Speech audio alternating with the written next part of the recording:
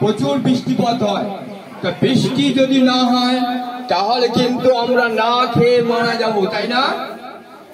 কারণ কৃষি উৎপাদন হবে না।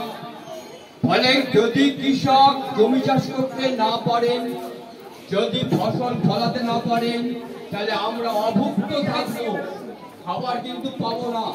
তাই বৃষ্টি খুব প্রয়োজন। এই প্রচণ্ড গরমের দিনে আমরা বুঝতে পারছি এখন বৃষ্টি খুব প্রয়োজন। কৃষকেরা জলের জন্য হাহাকার করছে।